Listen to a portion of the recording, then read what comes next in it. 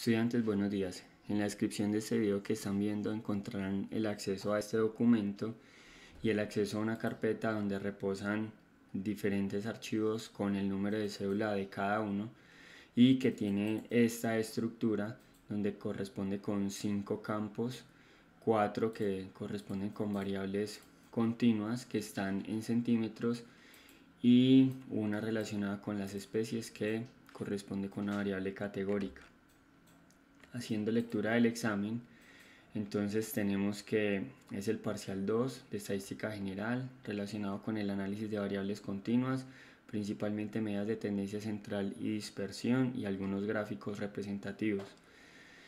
El examen diseñado por mi persona, la fecha y hora de entrega por parte de ustedes debe ser el jueves 15 de abril antes de las 8 de la mañana, puede ser un día antes, puede ser antes cuando quieran eh, sabemos que entregas tardías eh, serán calificadas sobre 3.5 y el medio de entrega será a través del Classroom por la sección de trabajo en clase que les asignaré. La tabla de datos que se encuentra en el archivo de la carpeta con su número de documento contiene 103 registros de medidas reales tomadas en flores de las especies que se ven las imágenes más abajo. Y estos registros son originales de un señor llamado Ronald Fisher que hizo una investigación y son bastante interesantes, son bastante utilizados en la comunidad académica para practicar diferentes temas estadísticos. Las variables que contiene ya las vimos, pero entonces mencionándolas un poco más específicas serían el largo de sépalo, el ancho de sépalo, el largo de pétalo y el ancho de pétalo. Eh, las y un campo relacionado con las especies. Las variables asignadas para cada uno serán las siguientes. Si su cédula termina en 0, 1 o 2, debe hacer los cálculos para las variables sepal width y sepal length. Si su cédula termina en 3, 4, 5 y 6, el análisis debe ser para sepal width y petal length. Y si su cédula termina en 7, 8 y 9, pues los análisis deben ser para sepal width y petal width. ¿Qué es importante tener en cuenta? Bueno, pues espero que ustedes entiendan qué es el ancho de sépalo, el largo de pétalo y demás, las diferentes variables.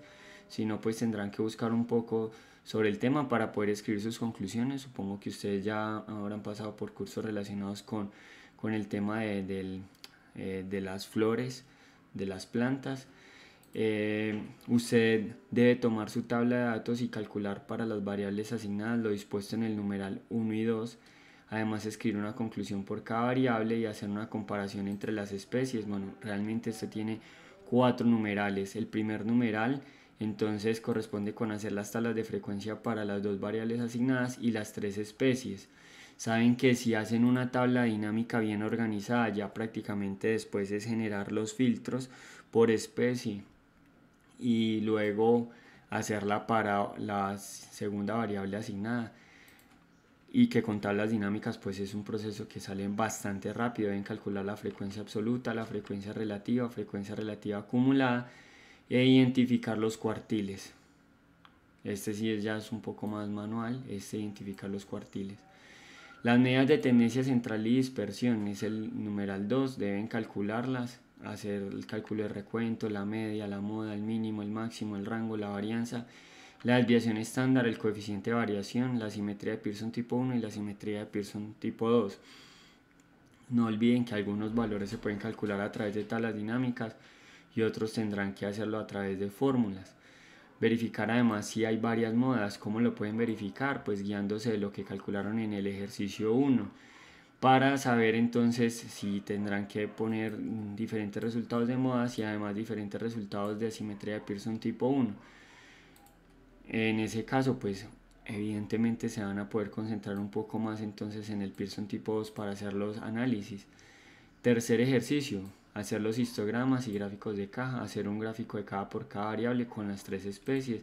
Quisiera, eh, o eso quiere decir que entonces tienen que hacer dos, dos gráficos de caja. En cada gráfico de caja están las tres especies, uno para cada variable.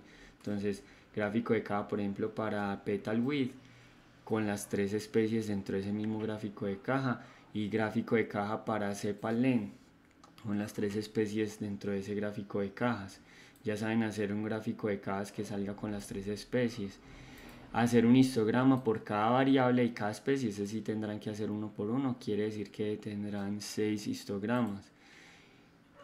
Finalmente, y muy importante, escribir conclusiones por cada variable asignada, haciendo la comparación entre las especies analizadas, utilizando todo lo desarrollado en los numerales anteriores. Bueno, realmente es un examen que parece largo, pero no es tan dispendioso realmente. Espero que se concentren mucho en el análisis, que puedan escribir unas buenas conclusiones. Saben que en Excel se hace muy sencillo este proceso. Quien lo quiera hacer en RStudio también puede hacerlo. Ya está montada la plantilla prácticamente. Lo que tendrían que cambiar sería muy poco. No olviden que las unidades están en centímetros eh, de, estas, de estas variables. Igual acá también entonces lo escribiré para cuando descarguen su examen. Les agradezco mucho su atención y les deseo mucho éxito. Muchas gracias.